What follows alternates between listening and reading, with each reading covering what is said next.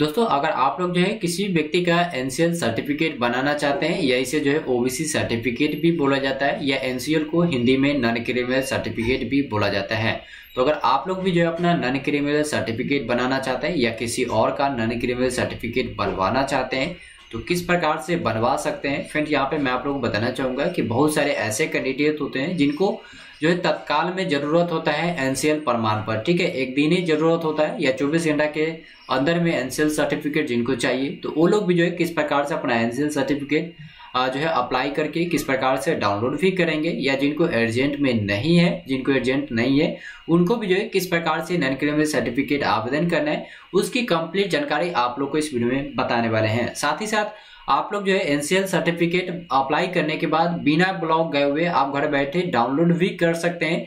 तो किस प्रकार से डाउनलोड भी करेंगे, पूरी लाइव प्रूफ के साथ आप लोग को इस वीडियो में बताने वाले हैं।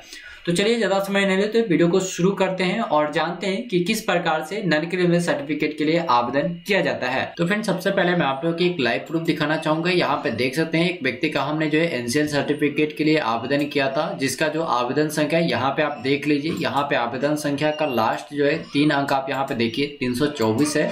और यहाँ पे आवेदन तिथि भी देख लीजिए, चार दस दो था।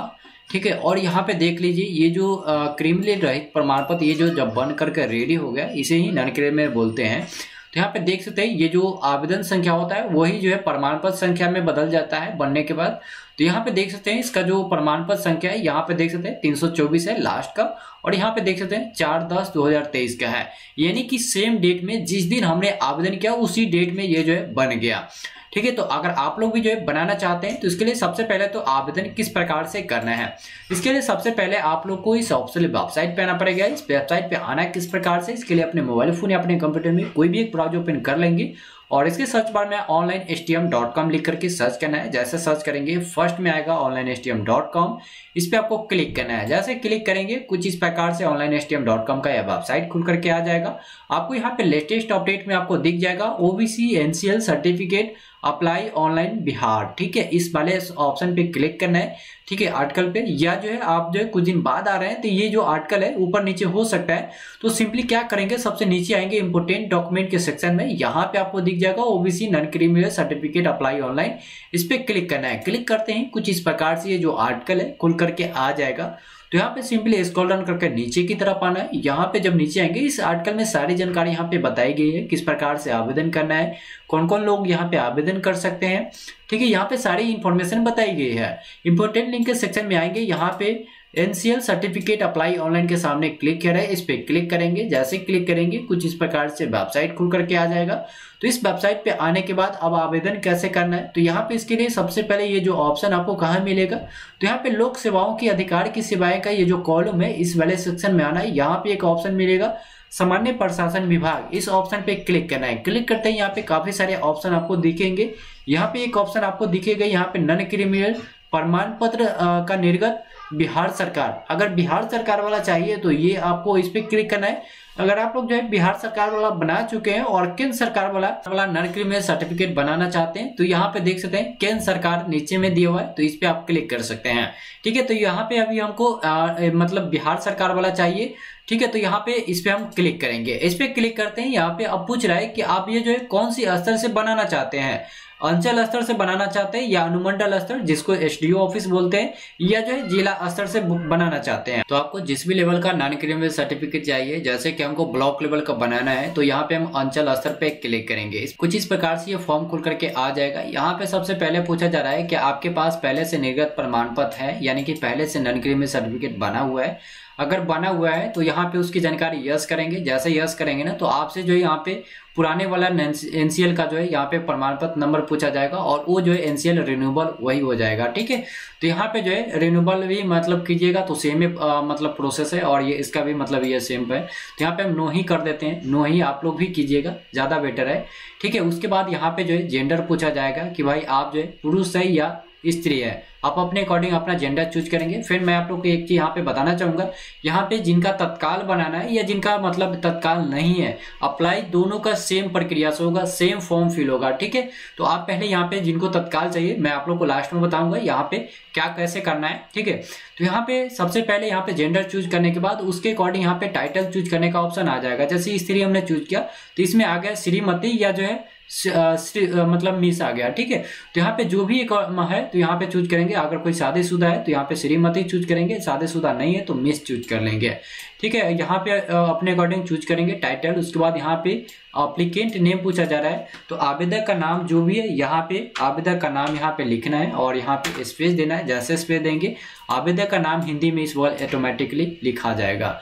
ठीक है, उसके बाद यहाँ पे जन्म तिथि पूछा जा रहा है तो जो भी जन्म तिथि है, यहाँ पे जैसे इस पे कॉलम में क्लिक करेंगे कैलेंडर खुलेगा और जिस भी साल में उसका जन्म हुआ है, वो साल सबसे पहले इस पे क्लिक करके चूज़ करना है। साल चूज़ करने के बाद कौन सी मंथ में हुआ है? मंथ चूज़ करना और उसके बाद यहाँ पे कौन सी डेट का हुआ है? वो डेट चूज़ करेंगे। डेट ऑफ़ बर्थ आपका फुल मतलब फिल हो जाएगा। उसके बाद अब यहाँ पे आधार संख्या पूछा जा रहा है। तो यहाँ पे आधार नंबर इसमें अगर आप फिल करते हैं तो आपका जो भी आधार से रजिस्टर्ड मोबाइल नंबर होगा, उस पर जो है ओटीपी जाएगा। अगर आपके आधार में मोबाइल नंबर नहीं जुड़ा होगा तो आपका आवेदन नहीं हो पाएगा। ठीक है तो आपको उस कंडीशन में क्या करना है कि इसको, आपको इसमें आधार नंबर फिल करना ही नहीं है। अगर आप फिल करके आप ओ दे करके भी आवेदन कर भी देते हैं तो आपका जो आवेदन है, वो रिजेक्ट हो जाएगा एनसीएल आपका नहीं बनेगा। ठीक है तो आप इस कंडीशन में आप इतना समझ लीजिए कि इसमें आधार नंबर नहीं फिल करना है। ठीक है, उसके बाद यहाँ पे स्टेट पूछा जा रहा है कि कौन से स्टेट से बिलोंग करते हैं, अपना राज्य मतलब चूज़ कर लेंगे। उसके बाद यहाँ पे डिस्ट्रिक्ट पूछा जा रहा है कि कौन से जिला से आप बिलोंग करते हैं, जो जो भी जिला आपका है, यहाँ पे अपना चूज़ करेंगे। उसके अकॉर्डिंग यहाँ पे अनुमंडल आ जाएगा, आप कौन से अनुमंडल से बिलोंग करते हैं, अपना अनुमंडल चूज़ करेंगे। उसके बाद यहाँ पे प्रखंड नेम आ जाएगा। तो जो भी आप ब्लॉक से बिलोंग करते हैं, अपना ब्लॉक नेम चूज़ कर लेंगे। उसके बाद यहाँ पे कौन सा आपका ग्राम पड़ता है, जो भी आपका गाँव मोहल्ला है, अपना गाँव मोहल्ला का नाम लिखेंगे। इसमें अपना यहाँ पे टाइप कर लेंगे। उसके बाद यहाँ पे होल्डिंग नंबर यानी कि कोई आपका भवन नंबर मकान नंबर मिला हुआ है तो यह इसमें लिखेंगे। नहीं तो आप इसको होल्डिंग नंबर या सर्किल नंबर को आप छोड़ भी सकते हैं, कोई दिक्कत नहीं है। उसके बाद यहाँ पे पूछा जा रहा है स्थानीय निकाय, यानी कि आप जहाँ पे रहते हैं, वो किस प्रकार का निकाय है? ग्राम पंचायत में आते हैं या नगर निगम में आते हैं या नगर परिषद में आते हैं या नगर पंचायत में आते हैं। जैसे हम लोग यहाँ पे ग्राम पंचायत से आते हैं तो यहाँ पे जो है ग्राम पंचायत चूज़ करेंगे। तो जो भी आपका है, अपने अकॉर्डिंग यहाँ पे चूज़ करेंगे। उस अकॉर्डिंग यहाँ पे चूज़ करने का ऑप्शन आ जाएगा। जैसे ग्राम पंचायत से है तो हम इस आप इसमें पंचायत नेम चूज़ करना होगा कि कौन से पंचायत से बिलोंग करते हैं। अपना पंचायत नेम यहाँ पे चूज़ कर लेंगे। उसके बाद यहाँ पे जो भी आपका पिन कोड है पिन कोड नंबर इसमें फिल कर लेना है। फिल करने के बाद अगर कोई पुरुष क्या कर रहे हैं या जो है कोई महिला का ही कर रहे हैं आवेदन और वो शादीशुदा नहीं है और उसका परमानेंट एड्रेस और करेंट एड्रेस दोनों सेम सेम है। तो यहाँ पे ऊपर जैसा है, इस पे टिक करेंगे, ऊपर वाला ऑटोमेटिकली कॉपी हो जाएगा। अगर कोई शादीशुदा महिला का आप जो है एनसीएल बना रहे हैं तो उसको क्या करना है? सबसे पहले ऊपर में जो है उनके मायके का एड्रेस यहाँ पे इसमें ऊपर में फिल करना है, ठीक है? और नीचे में, अब यहाँ से नीचे में जो उनके ससुराल का जो भी एड्रेस है, यहाँ पे इसमें आपको फिल करना है, ठीक है? तो यहाँ पे इस प्रकार से कौन सा राज्य हुआ है, इस प्रकार से अपना यहाँ पे चूज़ कर लेंगे, ठीक है? उसके बाद यहाँ पे मैं सेम कर दिया, ठीक है? उसके बाद यहाँ पे अब नीचे, अब यहाँ पे धर्म पूछा जा रहा है कि आप कौन से धर्म से आते हैं? तो जो भी आपका धर्म है, यहाँ पे धर्म नेम यहाँ पे लिखेंगे और यहाँ पे स्पेस दीजिएगा ऑटोमेटिकली यहाँ पे हिंदी हो जाएगा। उसके बाद यहाँ पे कैटेगोरी पूछा जा रहा है कि कौन से कैटेगोरी से आप बिलोंग करते हैं। तो यहाँ पे एनसीएल प्रमाण पत्र जो ईबीसी e या बीसी जाति से बिलोंग करते हैं, उसी को जो यहाँ पे, यानी बीसी वन टू जाति का ही यहाँ पे एनसीएल प्रमाण पत्र बनता है। तो आप इसमें चूज़ करेंगे कि बीसी वन में बिलोंग से आते हैं या बीसी टू से ठीक है? तो यहाँ पे मैं पिछड़ा वर्ग से आता हूँ तो यहाँ पे हम पिछड़ा वर्ग चूज़ करेंगे। उसके बाद यहाँ पे जाति नेम अब आ जाएगा। तो यहाँ पे पिछड़ा वर्ग में जितने भी जाति आते होंगे, सभी जाति का नेम यहाँ पे आ जाएगा। जैसे यहाँ पे कुशवाहा क्वेरी चूज़ करते हैं, जैसे इसमें हम चूज़ किए, अब यहाँ पे उप जाति पूछा जा रहा है। तो ये कुशवाहा कोयरी का कोई उप जाति नहीं होता है तो इसमें खुल करके नहीं आएगा। अदरवाइज़ कोई भी जाति आप चूज़ करेंगे जिसका उप जाति नहीं होगा तो ये ऑप्शन खुल करके नहीं आएगा। और जिसका उप जाति होगा, इसमें ऑप्शन खुल करके आ जाएगा। जैसे कि यहाँ पे मैं एक दिखा देता हूँ। यहाँ पे ये हमने चूज़ कर लिया और इसका उप जाति है। तो यहाँ पे अब इसमें से पूछ रहा है कि कौन सा आप जो है इस उप जाति में से आते हैं।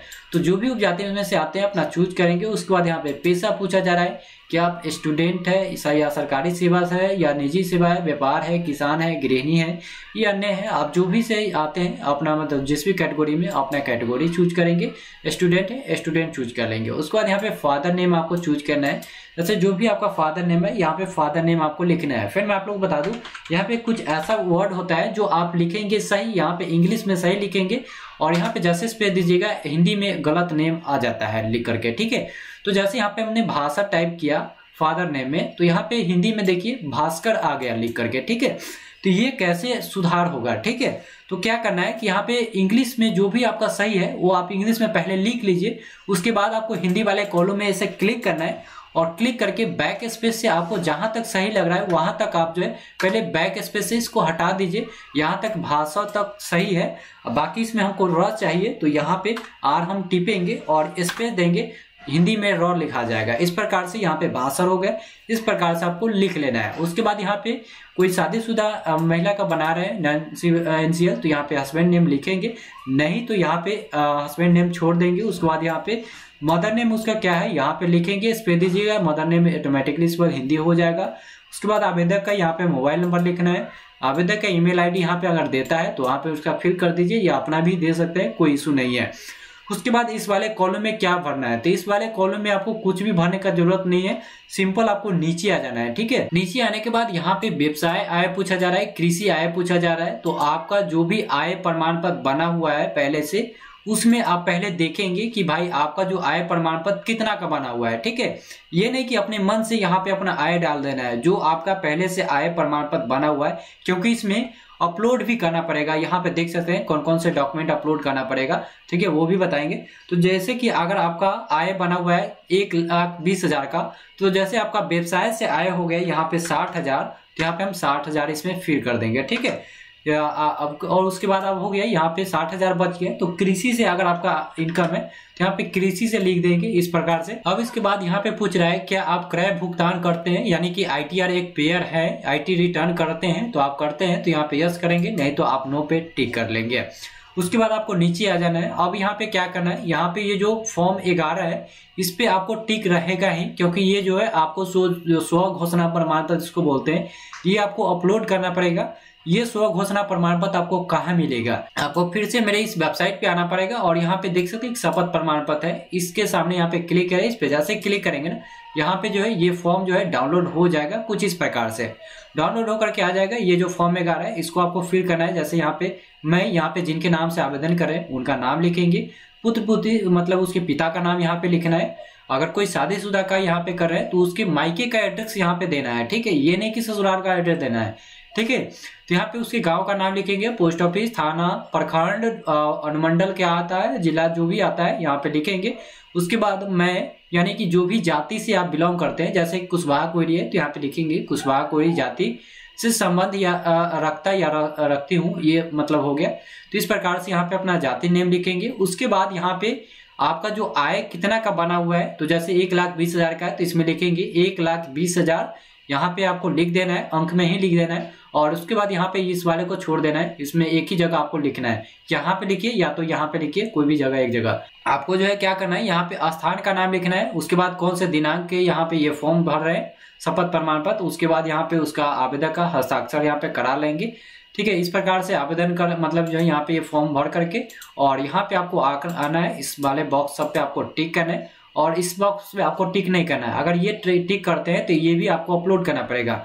ठीक है तो यहाँ पे नॉन क्रीमेल सर्टिफिकेट बनाने के लिए आपको आय प्रमाण पत्र, जाति प्रमाण पत्र, आवासीय प्रमाण पत्र पहले से बना होना चाहिए। ठीक है तो यहाँ पे चलिए हम इस सारे बॉक्स पे टिक कर लिए, उसके बाद यहाँ पे नीचे आना है और जो ये कैप्चा कोड लिखा हुआ है, ये कैप्चा कोड यहाँ पे फिल करेंगे। इसके बाद यहाँ पे प्रोसेस पे आपको क्लिक करना है। जैसे प्रोसेस पे क्लिक करेंगे तो यहाँ पे बोला है की कृपया अपना नाम एवं सूचना की जाँच कर ले, यानी की जो आपने ऊपर में डिटेल डाला हुआ है, वो एक बार अपना अच्छी तरीका से वेरीफाई कर ले। ठीक है तो यहाँ पे हमने वेरीफाई कर लिया है। आप भी एक बार वेरीफाई कर लीजिएगा, उसके बाद ओके पे क्लिक करेंगे। जैसे ओके पे क्लिक करेंगे, कुछ इस प्रकार से खुल करके आ जाएगा। यहाँ पे एक बार प्रीव्यू दिखाया जाएगा तो ऊपर करके एक बार अपना पूरी डिटेल आप एक बार अच्छे से चेक कर लेंगे। यहाँ भी अगर आपको किसी प्रकार का गलती आपको दिखेगा तो आप क्या करेंगे एडिट ऑप्शन पे क्लिक करके आप जो है अभी भी सुधार कर सकते हैं। नहीं तो आप, अगर आपको लगता है कि सारा कुछ सही है तो अटैच इन है, इस ऑप्शन पे आपको क्लिक करना है। जैसे क्लिक करेंगे अब यहाँ पे जो है शपथ प्रमाण पत्र जो है अपलोड करने का आ जाएगा। यहाँ पे फॉर्म ग्यारह आवेदन शपथ प्रमाण पत्र। उसके बाद यहाँ पे एक आईडी यानी प्रूफ आपको चूज़ करना होगा। तो यहाँ पे इसमें आधार आपको चूज़ कर लेना है। जो भी डॉक्यूमेंट आपके पास अवेलेबल है, वो डॉक्यूमेंट यहाँ पे चूज़ करेंगे। देखिए, यहाँ पे एक चीज़ और बता देता हूँ। कोई फीमेल का बना रहा है शादीशुदा का। तो यहाँ पे आधार जो अपलोड करेंगे ना, उसके पिता और जो है माता सॉरी पिता या जो मतलब उसके मायके का भी एक किसी ने उसके भाई का हो या जो है उसका पिता का हो या मम्मी का हो, और उस कैंडिडेट का भी जो है साथ में आधार मतलब अटैच करके एक ही पेज पे आपको यहाँ पे अपलोड करना है, ठीक है? इस प्रकार से तो यहाँ पे आपको जो है शपथ प्रमाण पत्र जैसे मैं सब अपलोड कर लेता हूँ, यहाँ पे जैसे मैं यहाँ पे डाउनलोड ऑप्शन में है तो यहाँ पे हम चूज़ कर लेते हैं, और चूज़ करने के बाद इस प्रकार से आपको अपलोड कर लेना है। तो इस प्रकार से आप जो है अपना सारे डॉक्यूमेंट अपलोड करेंगे, उसके बाद सेव एन एक्सेल है, इस पर आपको क्लिक करना है। इस पर जैसे क्लिक करेंगे, आपका जो डॉक्यूमेंट है, वो अपलोड सक्सेसफुली हो जाएगा। ठीक है, कुछ इस प्रकार से। और यहाँ पे आप देखना चाहते हैं, जो डॉक्यूमेंट आपने अपलोड किया है, और देखना चाहते हैं, वही डॉक्यूमेंट है या दूसरा है तो इस प्रकार से आप इस पर क्लिक करके आप जो है देख भी सकते हैं। अगर आपको लगता है कि इसमें किसी प्रकार का गड़बड़ी हो गया है, गड़बड़ अपलोड हो गया है तो यहाँ पे इस पे एक बार क्लिक करके बैक जा करके अपना जो है फिर से अपलोड कर लेंगे। चलिए, मेरा सही है तो हम यहाँ पे हम सबमिट पे क्लिक करेंगे। जैसे यहाँ पे अब सबमिट पे क्लिक करने के बाद ये जो फ़ाइल जो है यहाँ पे सबमिट सक्सेसफुली हो गया है तो यहाँ पे अब जो है एक्सपोर्ट टू पीडीएफ है, इस पे क्लिक करके हम यहाँ पे जो है इस पीडीएफ को जो यहाँ पे सेव कर लिए। तो इस प्रकार से आप लोग जो है एनसीएल के लिए आप अप्लाई कर सकते हैं। आवेदन करने के बाद ये नॉन क्रिमिनल सर्टिफिकेट कितने दिनों में बन जाता है? तो इसका जो कार्य दिवस होता है वो बारह दिनों का होता है यानी बारह से पंद्रह दिनों का होता है।